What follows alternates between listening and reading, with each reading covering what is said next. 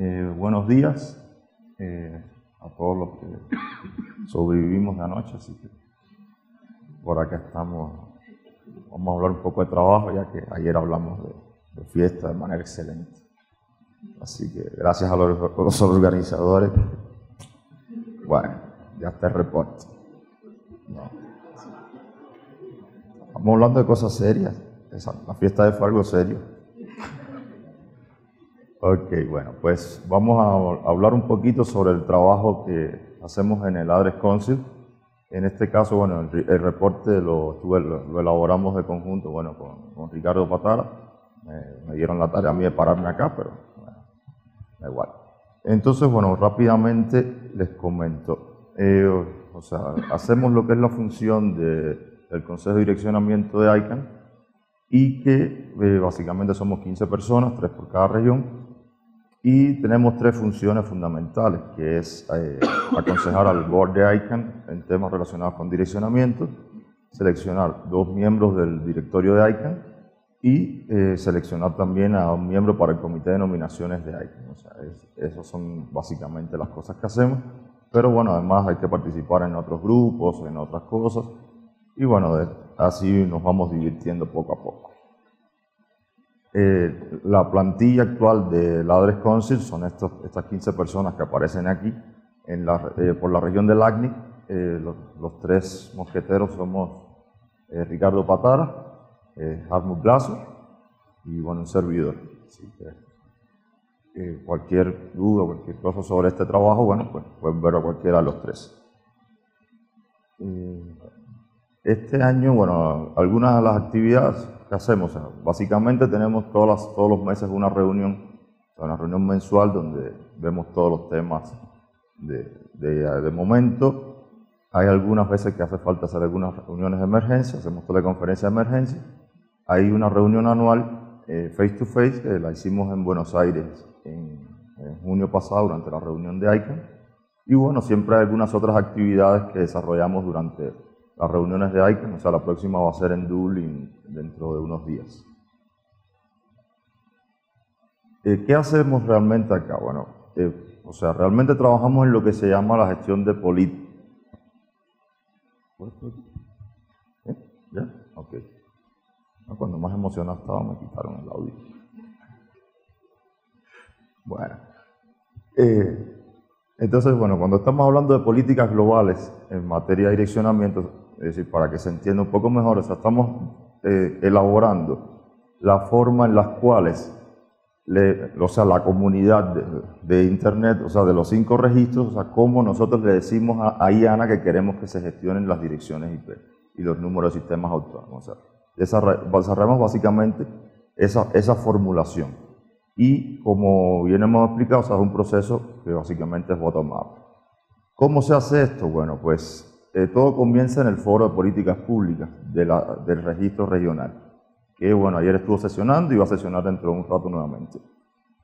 Todas, todas esas políticas que se aprueban a nivel de los registros regionales y que tengan, eh, o sea, tengan posibilidad de convertirse, digamos, en una política a nivel global, pues esa política eh, luego se, se lleva a los foros de política de los otros registros y eh, si se aprueban todos los registros, bueno, se hace una unificación de criterios y se elabora ya como tal el, texto final de la política que luego es ratificado por el board de ICANN.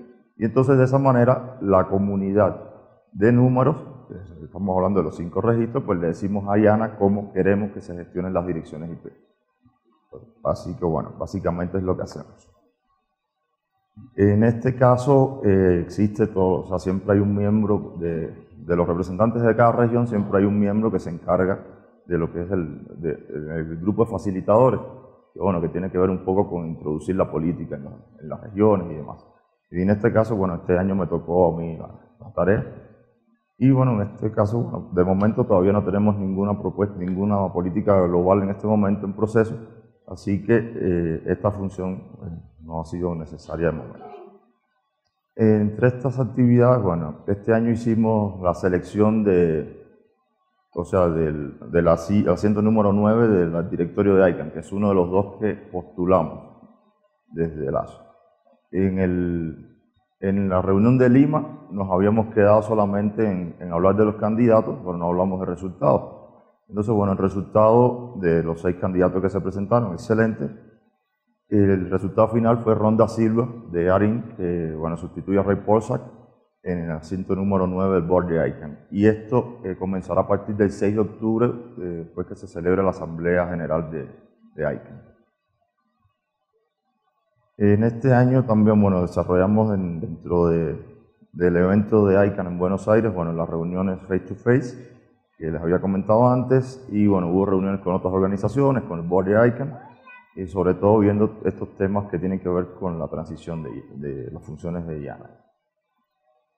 Eh, algunos eh, anuncios recientes, bueno, le, eh, les comento que, bueno, Ricardo Patara es el vice-chair de, del Adres Council, así que, bueno, felicitaciones para Ricardo, está haciendo muy buen trabajo.